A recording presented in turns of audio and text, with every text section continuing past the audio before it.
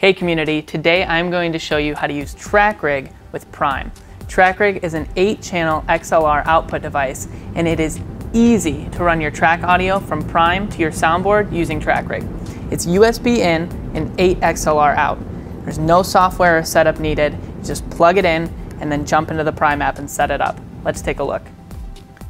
So when I'm in the Prime app, I'm going to click Devices and select Loop Community TrackRig. Now you'll see that my out setting lights up and I can click it. Now you can see underneath each track that I can set which channel I'm sending the track to.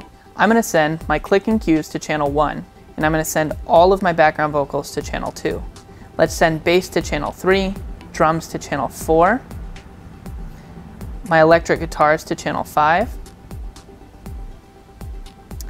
Let's send this FX to channel 6. We'll send the pad to channel 6 as well since they're similar. We'll send these percussive elements to channel 7. And let's set these synth and synth bass to channel 8.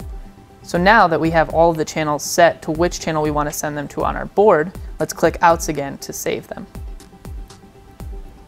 These are all saved for this song and we could go to our next song and click outs again and then set whatever channel we wanted these to go to. I'll do acoustic to channel 2, all three of them. I'll do my bass to channel 3, drums to channel 4 again, electric guitars to channel 5, keys to 6. We'll also do piano to 6, my loop to channel 7, and my tambourine to channel 8. You'll see that click and cues are still on channel 1. So let's hit outs again, and it's that easy. So let's click play.